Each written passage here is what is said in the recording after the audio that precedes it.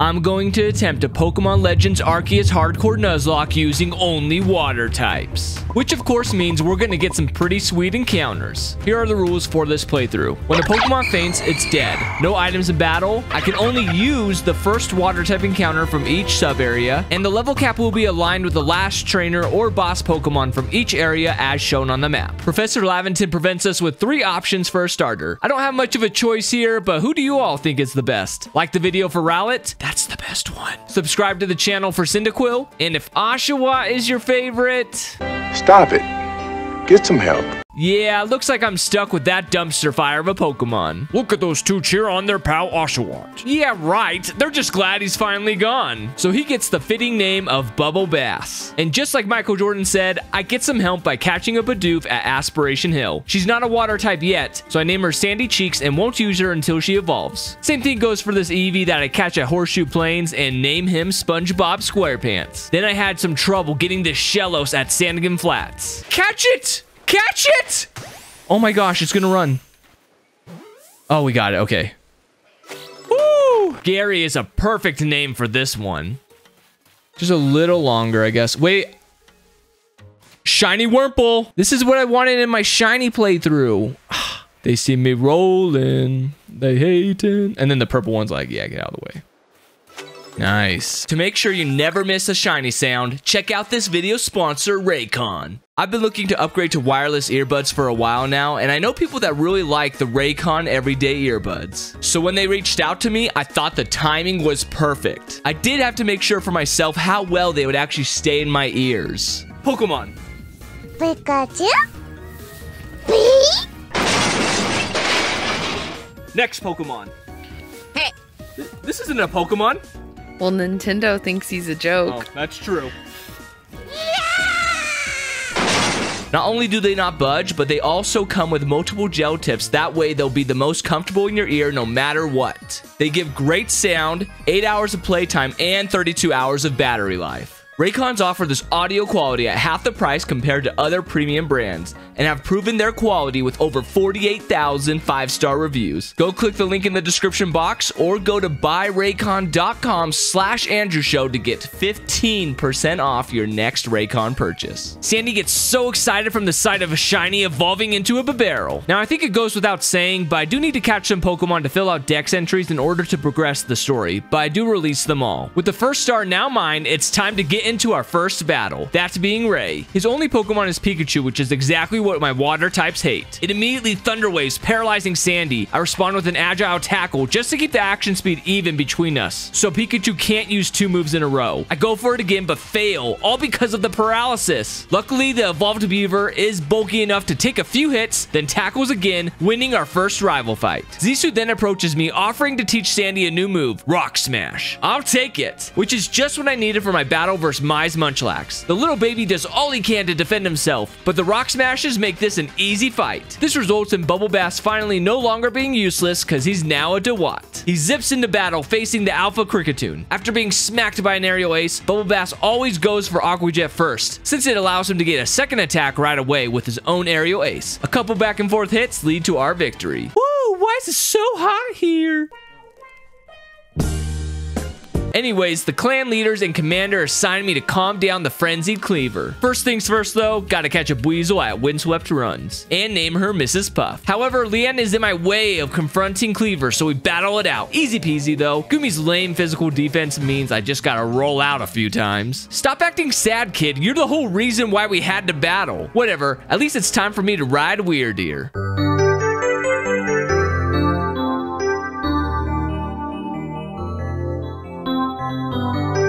With my trusty steed, I'm able to travel faster to break apart blue ore deposits until I find a water stone, which evolves SpongeBob into a Vaporeon. Our last match in the Obsidian Fieldlands is an Evolution Showdown versus Irida's Glaceon. SpongeBob starts off with a Calm Mind, bulking up his defenses alongside his great HP stat. This effectively walls all of Glaceon's attacks while SpongeBob slowly bubbles them down to 0 HP. Now, the reason I don't use the Noble Pokemon as a level cap is they can all easily be defeated without Pokemon. So use using their level as the cap would make things too easy, which is why I'm using the last main fight before the frenzied fight of each area. SpongeBob continues being the star of the show during our second battle with Rei. I start with a calm mind, but then the Mr. Mime pulls off an agile hypnosis, then Zen headbutts. SpongeBob is too drowsy to move, so the Mime puts up an iron defense. Next time, we're able to bubble, and they Zen headbutt again. For the last attack against the baby Mime, I have SpongeBob use an agile bubble, so that way Pikachu can't pull off two electric moves when it arrives. The drowsiness wears off alongside with our Calm Mind boost. Pikachu quick attacks, then Thunder Shocks. I really want SpongeBob alive, so I risk Sandy Cheeks, who gets paralyzed right away. After a scary moment of being fully paralyzed and Thunder Shocked, Sandy one-shots the Pikachu with a bulldoze, making that our closest battle yet. Will you get out of my face, you creepy old man? I just wanted to buy some supplies. Then our journey takes us to the Crimson Mirelands, where I add a Psyduck to my team at the Golden Lowlands, named Patrick Star. Is mayonnaise an instrument? After admiring Calibuzz Babero,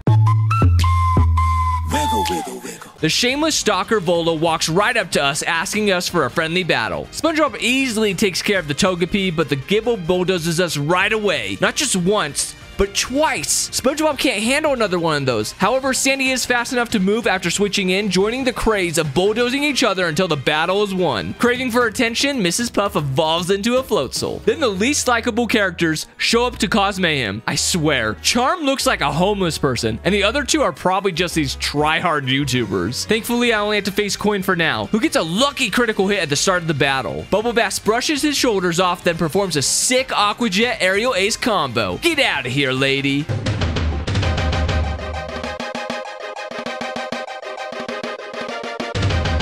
At first, I thought I was just lucky when Ursaluna missed the play rough. SpongeBob bubbles, then weakens the bear with baby doll eyes. And there it goes again, missing.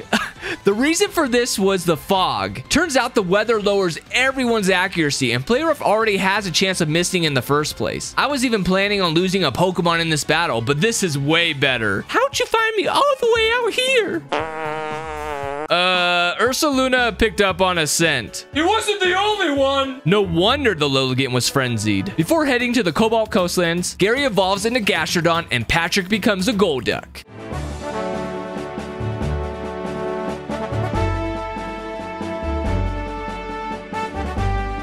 Love the song Irida, but SpongeBob will never let his guard down against your Glaceon. Yo, Palina, are you in the wrong universe? If you ever want to wear your goggles without actually ever wearing them, you should try the Digimon universe. Then at Ginkgo Landing, go eat your demise. Rollin', rollin', rollin'. I'll name you Pearl.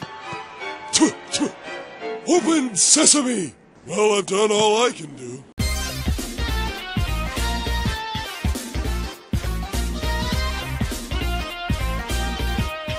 Once Basculegion is summoned, I can go look for more team members. Back at Lake Verity, I catch a Magikarp named Alaskan Bullworm. Then at Lake Valor, I catch an overleveled Whiscash who is boxed. At Castaway Shore, I use my sneaky ninja smoke bombs to catch a Remoraid named Mr. Krabs. At Tranquility Cove, I try to get a Mantine. I think it likes to smell that stuff. Oh no, don't disappear, don't disappear.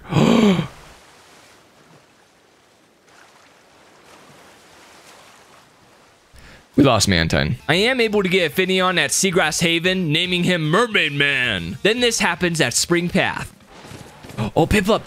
Oh, don't run away, don't run away. Gotcha, okay.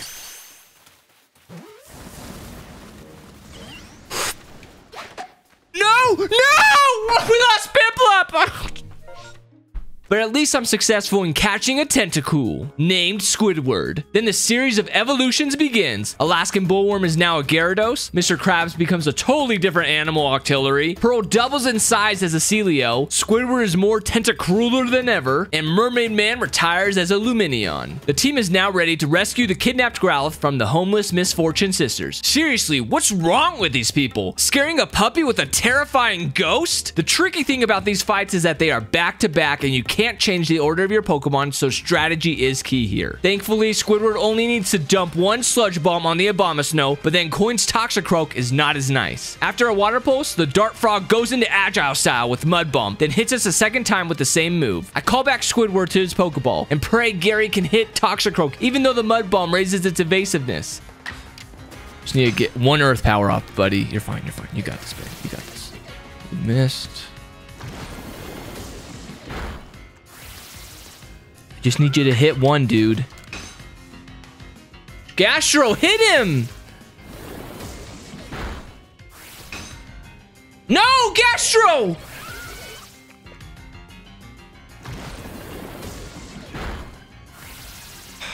Okay, okay. Ugh, that went a lot better in my head. SpongeBob is fast enough to switch in safely, but barely misses the KO with Water Pulse. After being socked by a poison jab, SpongeBob waters down the frog once more. Last fight is with Charm. Thankfully, Rhydon is a slow piece of crap, so I can safe switch in SpongeBob once again to move first with Water Pulse, drenching Rhydon. Then tanking the Shadow Ball from Gengar very well, and finish off their last Pokemon with a Shadow Ball. With the Fortune Sisters out of my way, I can calm down the recently evolved Arcanine and evolve Bubble Bass into a Hisuian Samurott. All right, Andrew. All right, Andrew. You can do this. Melli. He is a guy. Finally, got that right after being wrong for two videos. Hey ho, boss man Kamado. Okay, you just lost my respect. Adaman's Leafeon is our next battle, and even though the grass type may seem scary to a mono water team, Squidward is not only part poison, but is also a pretty fast Pokemon, taking out the Leafeon before he can even blink. Even after that display of strength, Melli continues not listening to his leader's orders by blocking my way into parts of Coronet Highlands. Thanks to the defensive boost from Gary's relaxed nature, he can comfortably take in the Night Slash before decimating the Skuntank with ground attacks. Ingo wants to battle as well, and I really gotta be careful here since this is one of the harder matches. I first have Squidward Acid Armor while the Machoke goes for a double edge. Then a shiny Dazzling Gleam makes the Muscle Man go bye-bye. But we all know Ingo's Gliscor is the one to be afraid of.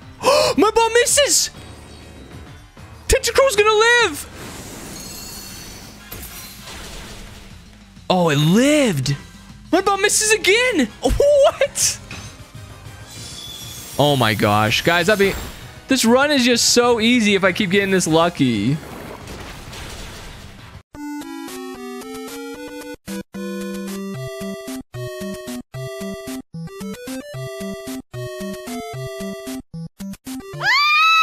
Don't want a Sneasler. I want my last encounter, Basculin. And it's a female too, which is a special attacker as opposed to the male version, which is a physical attacker. Shortly after that, Pearl evolves into a Walrein. The final fight for this area is once again Melli. Just like last time, I'm hit with a Night Slash, so I go for a Bulldoze to go twice like I did in the previous battle. I mean, we could get put to sleep, I guess. Jeez. wait, wait, wait. Thought we were gonna go twice. Nice. How fast is Walrein? 65 speed? What the crap? Whatever. I, I probably should actually Ice Beam would have been better, but it's fine. Yeah. Hypnosis misses. Wow, this is literally the luckiest run. Why doesn't this crap happen during the ghost run? I feel like Hypnosis always hit in the ghost run, but not in this one.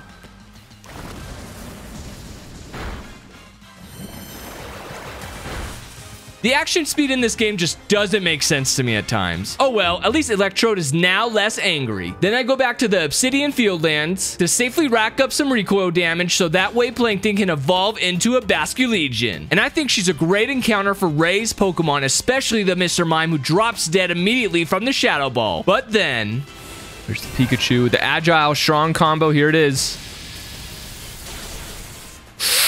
This is gonna be a close one. Oh, it's gonna be close!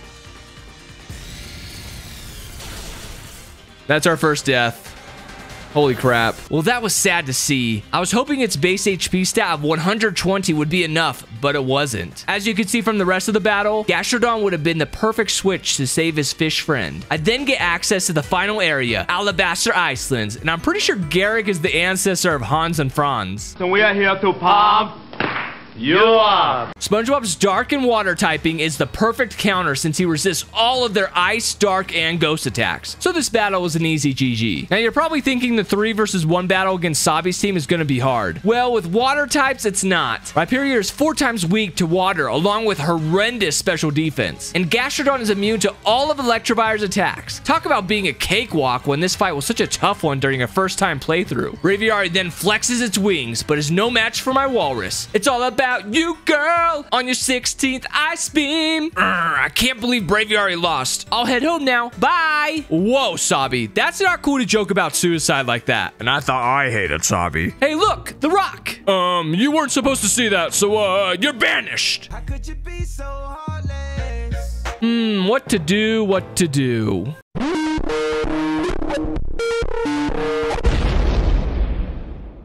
The Alpha Hisuian Zoroark inside gets greedy with a nasty plot. I punish simply by using an agile Aqua Jet followed by a strong Night Slash.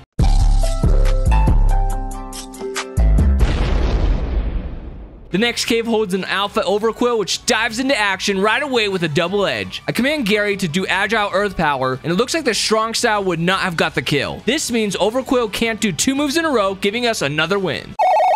Hello, Moto. I saved the hardest alpha for last, Hisuian Goodra. I gotta be really careful here because after that Dragon Pulse, Gary can die to a two-hit combo. So I use Agile Style whenever I can like I did with the Recover, then with the Earth Power, but the Goodra was still able to pull off a Shelter and Hydro Pump before my next turn. I continue to heal with Agile Recover while they blow Hydro Pump at us. Then I see an opening. Bulldoze! It lowers the Goodra speed just enough to give me another turn, winning this battle deathless. The Pokemon at the lakes grant me the gift of the red chain for proving my worth. Now let's go save the world. In my opinion, Beni has the toughest team to fight throughout the main story. They're all fast and hit hard, but what they do lack is bulk. So right after Sandy dodges the hypnosis, she crunches the Mismagius to 0 HP. That victory is short-lived though, since the ugly sneezer comes in for revenge with close combat. Gastrodon returns the favor with his own Earth Power, crumbling that mistake of a Pokemon. Now Beni's Gardevoir means business, boosting their attack and defenses upon entering the field. If I switch in anyone, they're gonna take a hard hit, even possibly die. Since I did have another ground slash water type in the box, I make the tough decision of keeping Gary in. He fought his heart out, mixing recoveries with attacks, and almost got the kill too if it wasn't for that max potion. But eventually he falls, so the rest of the team can live. SpongeBob, ferocious after losing his pet snail, sets up a Calm Mind which neuters the damage of the incoming Psychic. He's got things handled from here, Shadow Balling the Gardevoir to the Shadow Realm. Gallade, with fear-filled eyes, jabs a Drain Punch, but knows his demise is upon him as SpongeBob pulls off an agile quick attack Shadow Ball combo, besting Beni the Ninja. Now, I know the game tries to frame Commander Kamado as the first big baddie, but honestly, his team has a bunch of slowpokes, and you need speed to have a broken team in this game. His Braviary is his only fast mon, but once its turn is over, a Calm Mind boosted Shadow Ball makes quick work of the bird. His next Pokemon, Snorlax, is likely his toughest. Here's how every turn goes down. Snorlax uses Zen Headbutt, then I have SpongeBob Agile Quick Attack with a Water Pulse right after. I'll Calm mine instead of Quick Attack if the increased stats disappear, and Kamado will use a Max Potion when his big boy needs HP. Just when I think I can live another Zen Headbutt, Kamado pulls this number on me. Oh, Giga Impact! Oh, I did not expect the Giga Impact. SpongeBob's dead. Shoot. I, I kept using Zen Headbutt, so I thought I was safe. After that Giga Impact, Bubble Bass is able to pull off three attacks, an Aqua Jet, a Night Slash, and another Aqua Jet, which of course beats the Snorlax. Now, I don't understand why Kamado sends in Golem next when he has the freaking Fairy-type Clefable in his party. Thus, I take this free opportunity to bring in Squidward, who puts up an Acid Armor, then drowns the Golem with a Water Pulse. The Clefable I feared finally joins the fray, starting off with a Calm Mind. We then Sludge Bomb and Psychic each other. The last turn falls into my hand, meaning Squidward seals the deal with the Team Galaxy leader. However, Kamado is not the final boss of the main story Nuzlocke. Is it Dialga, the god of time? Nope. I tested it, and even if you defeat this guy instead of catching it, the game won't let you progress any further until you capture it. Ultra Ball works on the first try. But no, the real final boss of the main story are these people. Specifically Charm. What a letdown. Well, so was my starter at the beginning, and now he's a samurai sea Line. Let's end things how they began. Bubble Bass soaks the Rhydon with Water Pulse. Do things really end that easily, though? Oh, he's doing a combo. Oh, oh, okay, okay, okay, okay. Charm putting up a fight. But yeah, we resist. Just get.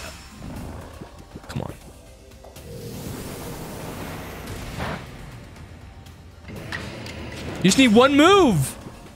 Bubble Bass! You have to end this!